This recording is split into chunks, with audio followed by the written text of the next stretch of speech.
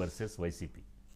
ఈ కోటమిరెడ్డి శ్రీధర్ రెడ్డి కానీ అన్నం రామనారాయణ రెడ్డి కానీ వీళ్ళిద్దరు రెబల్స్ కానీ కోటమిరెడ్డి శ్రీధర్. ఆంధ్రప్రదేశ్ అసెంబ్లీలో రేపు ఎమ్మెల్సీ ఎన్నికల సందర్భంగా ఒక లెక్కల పంచాయతీ జరగబోతుంది.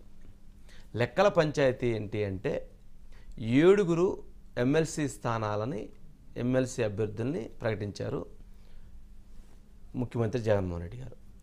ఏడుగురు అని అంటే వాళ్ళకి కావాల్సినటువంటిది ఒక్కొక్కరికి ఇరవై రెండు ఓట్లు కావాలి. అంటే వన్ ఫిఫ్టీ ఫోర్ ఓట్స్ అయితే కనుక ఇది అవుతారు. మరి వైసీపీ దగ్గర వన్ ఫిఫ్టీ వన్ ఓట్స్ ఉన్నాయి జగన్మోహన్ రెడ్డి గారితో కలిపి. తెలుగుదేశం పార్టీ నుంచి ఇటువైపు వచ్చినటువంటి వాళ్ళు ముగ్గురు ఉన్నారు ఎవరెవరు? వల్లభనేని వంశీ గిరిధర్ అట్లాగే బలరాం గారు ముగ్గురు. అంటే one fifty one plus three one fifty four అయిపోయింది. కానీ వైసీపీ ప్రభుత్వానికి అనుకోకుండా ఒక షాక్ ఉంది. రెండు షాకులు ఉన్నాయి ఆ రెండు షాకులు ఎవరయ్యానంటే ఒకటి ఆనం రామనారాయణ రెడ్డి గారు రెండు కోటమిరెడ్డి శ్రీధర్ రెడ్డి గారు. వీళ్ళిద్దరూ కనుక ఆ వన్ ఫిఫ్టీ వన్లో నుంచి రెండు డ్రాప్ అయితే one forty one one forty nine అవుతుంది. అదే వన్ ఫిఫ్టీ ఫోర్ అనుకుంటే రెండు తగ్గిపోతే వన్ ఫిఫ్టీ టూ. అయిపోతుంది. అంటే రెండు సీట్లు వాళ్ళకి ఏ అయితే వైసీపీలో ఉన్నటువంటి సీట్లు అవి గనక టీడీపీకి వేస్తే టీడీపీకి ఇప్పుడు ఉన్నటువంటి ఇరవై మూడు. ఇరవై మూడు కాదు కదా నైన్టీనే? నైన్టీన్ గంట ట్వంటీ. అప్పుడు గనక వీళ్ళకి ఇంకో టూ యాడ్ అవుతుంది టూ యాడ్ అవుతాయి. అంటే వీళ్ళు దగ్గరగా వచ్చేస్తారు. అంటే ఒక సీట్ ఇంకో సీట్ వీళ్ళు తెచ్చుకుంటే సరిపోయింది. రెండు సీట్లు వాళ్ళు తెచ్చుకుంటే సరిపోయింది చాలా మ్యాజిక్ ఫిగర్. చాలా లెక్కలకు సంబంధించినటువంటి అంశం. రేపు రాజకీయంగా మంచిగా ఫైట్ జరగబోతుంది. ఆసక్తికరమైనటువంటి ఫైట్. చూడాలి. మరి ఎవరికైనా సరే ఇప్పుడు ఈ సందర్భంగా మంచిగా డిమాండ్ బరికిద్ది. ఎవరికైనా కానీ ఇప్పుడు చాలా వాల్యూ తోటి కొనుగోలు చేస్తారు. అయితే కాన్ఫిడెన్స్ అన్నమాట. కాకపోతే సీక్రెట్ ఓటింగ్ కాబట్టి ఎవరు ఎంత కొనుక్కున్నా కానీ ఇబ్బంది లేదు. డబ్బులు వేరే దగ్గర మారుతాయి కాబట్టి అమ్ముడు పోయేటువంటి వాళ్ళు ఎవరున్నా సరే ఇప్పుడు ఒక మంచి పాటగా పాడుకొని మంచిగా పాట పాడుకునే దానికి అవకాశం ఏర్పడిద్ది. కానీ అంద అట్లా అమ్ముడు పోతారని నేను అనుకోవట్లా. ఆత్మ ప్రబోధానుసారం. అది ఆనం రామనారెడ్డి గారు ఆత్మ ప్రబోధానుసారం ఓటేయాలన్నారు. వైసీపీ ఇచ్చినటువంటి దీని ప్రకారం రూల్ ప్రకారం వేయాలనలా అలా ఆత్మ ప్రబోధానుసారం అంటే నాకు నచ్చినటువంటి నా ఆత్మ చెప్పినట్టుగా నా మనసాక్షి చెప్పినట్టుగా వేయాలని. అంటే ఆయన ఎవరికి వేస్తారో అర్థమయ్యేటువంటి ప్రశ్న ఏర్పడుతుంది. అంటే డిఫర్ అయి ఉన్నారు కాబట్టి. రెండోది కోటమిరెడ్డి శ్రీధర్ రెడ్డి గారు ఈ రోజు అసెంబ్లీలో నానా గొడవ చేసి ఆయన ఫ్లెక్సీ తీసేసి ఆయన తీసుకొచ్చి బయట నుంచో పెడితే ఆ అసెంబ్లీ లోపల ఉన్న వాళ్ళు వినపడేట్టుగా ఆ బయట మీడియా పాయింట్ కాడ నుంచొని అరిసి అరిసి మాట్లాడేశారు. ఒకసారి వారేం మాట్లాడారు జగన్మోహన్ రెడ్డి గారు మాట్లాడింది అట్లాగే ఆనం గారు తింటే ఆనం గారు కోటమిరెడ్డి గారు తింటే కోటమిరెడ్డి గారిది ఒకసారి వేయండి.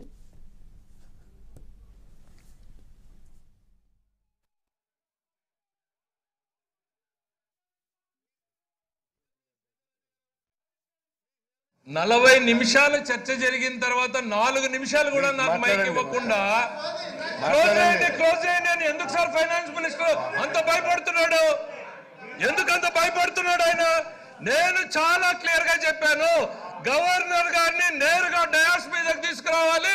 మీరు స్పీకర్ ఛాంబర్లో వెయిట్ చేయించారు. అది రాజ్యాంగ విరుద్ధం అని I'm still sticking to my stand I'm still sticking stand ఇంతకు ముందు ప్రభుత్వాలలో మనం అంతా చూసాం. ఇంత కూడా గాల్లో మాటలు ఇంత ఏం చెప్తా ఉన్నారో ఏం చూపిస్తా ఉన్నారో కూడా అర్థం కాని పరిస్థితి. గ్రాఫిక్స్ అట్టే ఉండేటివి ఆ మాటలు అట్టే ఉండేటివి. అదిగో మైక్రోసాఫ్ట్ అనేవాళ్ళు అదిగో బిల్ గేట్స్ అనేవాళ్ళు అదిగో బుల్లెట్ ట్రైన్ అని చెప్పి అనిపించే మాటలు పెద్ద పెద్ద గొప్ప గొప్ప మాటలు. అధ్యక్ష కానీ అధ్యక్ష నా నడక మాత్రం నేల మీదే అధ్యక్ష. నా ప్రయాణం మాత్రం సామాన్యులతోనే అధ్యక్ష పేద వర్గాలతోనే అధ్యక్ష. నా యుద్ధం అధ్యక్ష పెత్తందారులతోనే అధ్యక్ష. నా లక్ష్యం అధ్యక్ష పేదరిక నిర్మూలనే అధ్యక్ష. కాబట్టి అధ్యక్ష నా ఎకనామిక్స్ వేరే అధ్యక్ష. అధ్యక్ష పేద కుటుంబాలు బలపడితేనే అధ్యక్ష పేద కులాలు బాగుంటాయి అధ్యక్ష పేద కుటుంబాలతో పాటు పేద కులాలను బలపరిస్తేనే వారికి అన్ని సాధికారతను ఇస్తేనే సమాజం బాగుంటుంది అధ్యక్ష సమాజంలోని అన్ని ప్రాంతాలను బలపరిస్తేనే రాష్ట్రం కూడా దాదాపుగా ఈ నాలుగు గంటల పాటు కూడా నేను ఆ యొక్క ప్లేకార్డు చేతబట్టుకుని నిలుచుని నిరసన తెలియచేస్తూ ఉన్నా. ఈ లోపల తెలుగుదేశం పార్టీ శాసనసభ సస్పెన్షన్ పూర్తయింది. అయిన తర్వాత నా కార్డు అలాగే పట్టుకొని ఉన్నా. ఇద్దరు శాసనసభ్యులు వచ్చి ఆ యొక్క హడావుడిలో సరిగ్గా గమనించాలా. ఇద్దరా ఒక్కరా అని ఇటు ఇటు నేను పట్టుకో ఉంటే వచ్చే పేపర్ లాగి. నేరుగా స్పీకర్ గారిని అడిగాం. స్పీకర్ గారు ఏంది దౌర్జన్యం? ఏంది దుర్మార్గం? ఏంది దాదాగిరి? సభలో ముఖ్యమంత్రి గారు ఉన్నారు మంత్రులు ఉన్నారు స్పీకర్గా మీరు ఉన్నారు మీ అందరి సమక్షంలో నేను గాంధీగిరి పద్ధతుల్లో నా రూరల్ నియోజకవర్గ ప్రజా సమస్యల మీద ప్లే కార్డు చేతబట్టుకుంటే చించి వేస్తారా లాక్కుంటారా? ఏమిటి దాదాగిరి అని చెప్పని. నాకు సమాధానం చెప్పాల్సిన స్పీకర్ గారు శాసనసభ సాక్షిగా ఎక్కడ సాంప్రదాయాలు నాకు తెలియదు నన్ను సైతం ఈ యొక్క సమావేశాలు ముగిసేంత వరకు సస్పెండ్ చేయటం అనేది ఎంత బాధాకరం. ఆఖరికి నా చెప్పులు నా సీట్ దగ్గర ఉన్నాయి. నేను స్పీకర్ గారి పోడియం దగ్గర ఉన్నా. మార్షల్స్ వచ్చి లాగుతూ ఉంటే అయ్యా నా సీట్ దగ్గర చెప్పులు ఉన్నాయి. ఆ చెప్పులు వేసుకొని పోదామన్నా కూడా తోసుకుంటూ బయట తీసుకొని వచ్చి వాళ్ళు ఏం చేస్తారు పాపం? మార్షల్స్ని నేను తప్పు పట్టడం వాళ్ళంటే గౌరవం ఉంది. రైట్. ఇది అసెంబ్లీ సాక్షిగా జరిగినటువంటిది ఏంటంటే ఈరోజు తెలుగుదేశం పార్టీకి సంబంధించినటువంటి శాసనసభ్యులు సస్పెండ్ చేశారు. అదేవిధంగా కోటమిరెడ్డి శ్రీధర్ రెడ్డి గారిని కూడా సస్పెండ్ చేశారు. అంటే వైసీపీ వర్సెస్ టీడీపీతో పాటు వైసీపీ వర్సెస్ వైసీపీ కూడా ఒక యుద్ధం జరుగుతూ ఉంది. ఆ యుద్ధం ఏంటి అంటే కోటమిరెడ్డి గారు స్వయంగా చెప్పారు. నన్ను కూడా బయటికి బలవంతంగా తీసుకొచ్చి బయటపడేశారు నేను ప్రశ్నిద్దాం అనుకుంటే నన్ను ప్రశ్నించేటువంటి అవకాశం లేకుండా పోయిందని అంటే పొలిటికల్ సినారియోలో చాలా సీక్వెన్స్ మారుతున్నాయి. ఇది దీన్ని బట్టి ఆయన రేపు ఓటు ఎవరికి వేస్తారు? ఆత్మ ఆత్మ ప్రబోధానుసారం ఓటు వేస్తారని అనుకుందాం. సరే ఇదొక్కటే కాదు. ఈరోజు జరిగినటువంటి దాంట్లో ఇక పయ్యావల కేశవ్ గారు నిన్న ప్రెస్ కాన్ఫరెన్స్ పెట్టి ఒక కాలం రాశారు. ఒక కామెంట్ చేశారు. ముఖ్యమంత్రి గారు రాక కోసం గవర్నర్ గారిని వెయిట్ చేయించారు అనేటువంటి కామెంట్ ఏదో ఆయన రాశారు.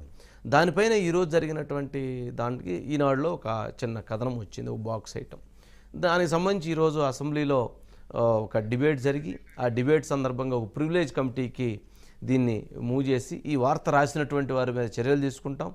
అదేవిధంగా ఒక యాక్షన్ తీసుకుంటాం అనే విధంగా ప్రివిలేజ్ కమిటీకి రాసి పంపించారు. చాలా సరే అది ప్రివిలేజ్ కమిటీకి వెళ్ళింది. అయితే ఇందుట్లో వారు మాట్లాడిన దాన్ని వాళ్ళు పాయింట్ చేశారు రాశారు. మరి ఈ దీన్ని ఎలా మరి ప్రివిలేజ్ కమిటీలో ఎలాంటి డిబేట్ చేస్తారో ఆశ్చర్యకరంగా ఉంది. అంటే ఈనాడికి ప్రభుత్వానికి మధ్య విపరీతమైనటువంటి యుద్ధం జరుగుతుంది.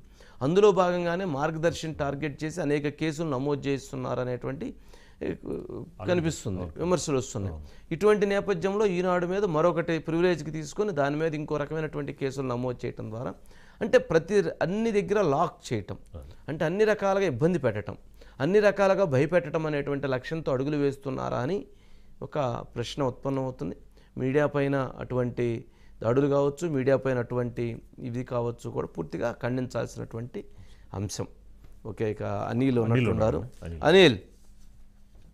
సార్ గుడ్ ఏంటి? అసెంబ్లీలో హాట్ హాట్గా ఉంది. ఏంటి ఈరోజు?